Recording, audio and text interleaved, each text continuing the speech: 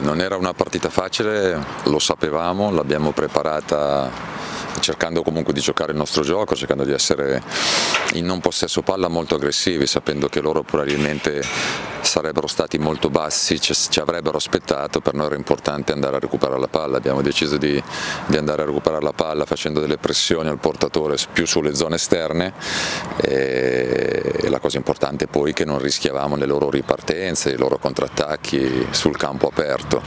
Eh, quando avevamo la palla secondo me abbiamo fatto una buona gara, ci siamo mossi tutti, cercavamo tutti di giocarla molto velocemente, abbiamo avuto nel primo tempo soprattutto tante occasioni poi siamo stati bravi nel secondo a non forzare le giocate, siamo stati secondo me bravi a continuare a muovere il pallone molto velocemente e credo che alla fine il gol sia meritato come sia meritato per quello che i ragazzi hanno fatto vedere i tre punti. Uh, the next match we are playing against Gorica at Poljud, also very important match for us. Uh, you will miss Stefan Simic who has three yellow cards. Yeah. Eh, purtroppo l'assenza di Stefan eh, va a sommarsi anche con l'assenza di Dimitri e di, e di Niad. Eh, sono quelle situazioni in cui bisogna inventarsi qualcosa.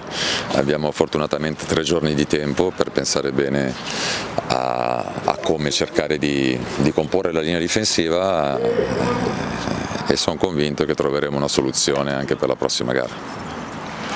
Uh, our youth team, our under 19 team uh, today won the championship, uh, so we can congratulate also to them because this is good day for Hajduk.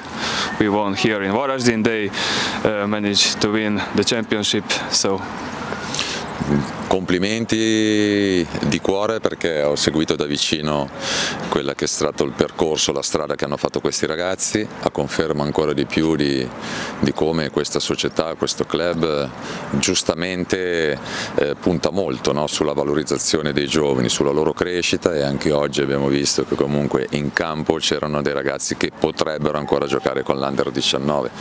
È bello, una cosa importante, una cosa di prestigio e mi fa molto piacere per il mio club, mi fa molto piacere per, per i ragazzi dell'Under 19 e il loro allenatore perché hanno raggiunto veramente un, un obiettivo straordinario.